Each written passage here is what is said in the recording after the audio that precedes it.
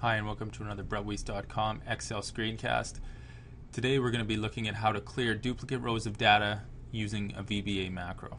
If you're watching this video on YouTube and you'd like the workbook to follow along and view the code, head over to BrettWeese.com forward slash Excel screencasts, select the clear duplicate rows VBA video, and underneath the video screen you'll find a link where you can download the workbook. So say as our example we need to import some data that gives us our daily sales totals, and we'd like to transfer that imported data into our final data worksheet for analysis. You'll notice in our final data worksheet tab, we have data all the way up to February 6th. And say maybe we update this daily or weekly or whatever, but our raw data, if we go over, the, go over to the raw data worksheet, only comes for a fixed time period, say each day of the month for an entire month. So this would be our raw data set containing all of February's sales totals. What we want to do is we want to take this data, import it into the final data set, and then we want to clear the duplicates so we're not double counting. So instead of going to our final data set saying, okay, we have up to February 6th, we need to go get from February 7th, copy all this, paste it into the final data worksheet. Instead of doing that every time we need data, it would be easier if we could just have two clicks, one to import the data and one to de delete the duplicate rows of data. And we can do that using a VBA macro. So first what I'm going to do is import the data using a very simple macro I've created. You can see that macro too if you head to the developer tab you can see the import data macro. But this macro isn't what we're focused on so I'm just going to run the macro and bring the data from the raw data sheet into the final data sheet. So I click the button and we can see that the macro ran and it dumped all the data from the raw data sheet into our final data sheet. Now you'll notice that I have some duplicate entries now. I have February 1st here, and I have February 1st here. If we leave the data like this, it's going to cause all sorts of problems. What we need to do is delete the duplicate data. So now we're going to go into the delete duplicates loop macro that I've created, and I'll show you how to delete the duplicate rows of data using a VBA macro. So let's bring up the VBA editor using Alt 11. If we press Alt 11, we can come to the Visual Basic for Applications editor screen. So we're going to step through this macro one line at a time, and I'll just explain what's happening as we're stepping through it, and we'll see what's actually happening on the worksheet. So to step through a line of code, it's just F8. So we'll press F8, and we'll start stepping through the code. So this is the first line of interest. This is going to clear our Boolean range that I'll explain in a moment in case our macro failed the last time. If this range isn't cleared when we run the macro next time, it's going to cause problems. So we want to clear that range. All this is doing is clearing the Boolean range. And I'll actually show you what I have here. If we go back to the spreadsheet, I've created a named range called Boolean. And this is a column that I'm going to use to determine which of these data sets are duplicates. So you're going to see in the VBA code a lot the range Boolean. That just means I've named this range, and this will be the column I'm referring to whenever I have a range Boolean or a range Boolean dot column in my code. So let's go back to the VBA editor. We're going to clear that row. We're going to find the final row of the data sheet and select our entire range of data. This is selecting from the start of our data down to the final row of our data and over a column, as you can see here, over to column 2, which is the final column of our data set.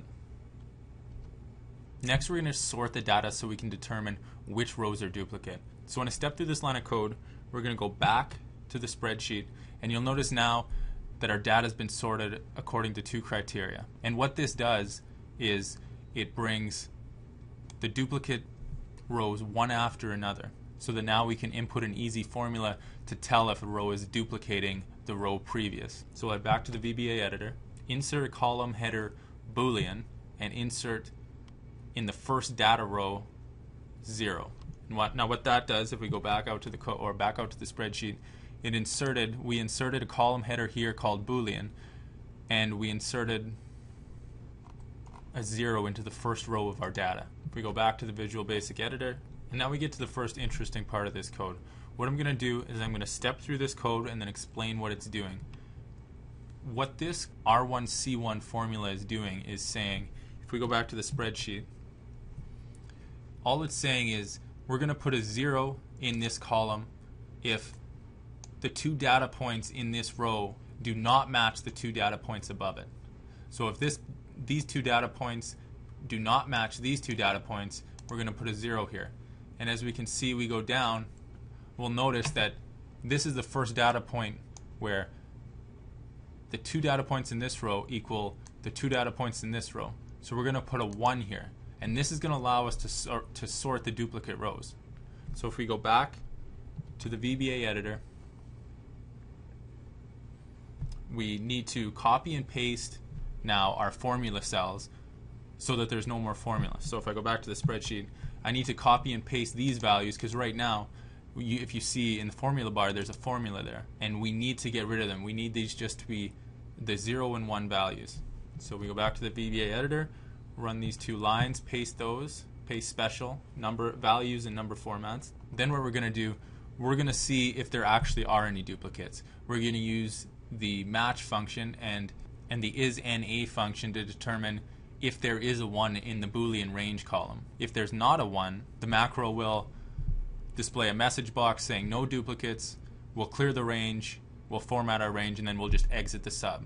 However, there are duplicates, so we're just going to end the if statement and get on with our macro. We're going to reset our range and resort our range according to the Boolean column. So now what we're going to do is sort by our 0 and 1s. We want our zeros first, and we want to sort all our 1s to the, to the end. So now you can see back in the spreadsheet what we've done. We've sorted all our duplicate rows to the end of our data set. We'll go back to the VBA editor. We're going to select the last data point in the Boolean column. And now we're going to enter a do while loop. What the do while loop is going to do is every time it finds a value of 1 in this Boolean range, it's going to move up a cell. And it's going to loop up a cell every time it finds a value of 1 until it doesn't find a value of 1. In other words, until it finds a value of 0, and then it's going to exit a loop. And this is how we'll know which rows contain our duplicate values. So we have to start from this row. We'll go back to F11. We'll run our loop. I'll put a stop here, and I'll, I'll run the loop, and then I'll show you what that looks like. So, so we ran our loop, we're to the cell we want, and now we're going to delete or just clear the contents of all the rows below. So we go back to Alt F11. We're going to run through this code. This is the code that's going to it's going to set a range of everything that's below our active cell and it's going to clear that content. So it's going to do that.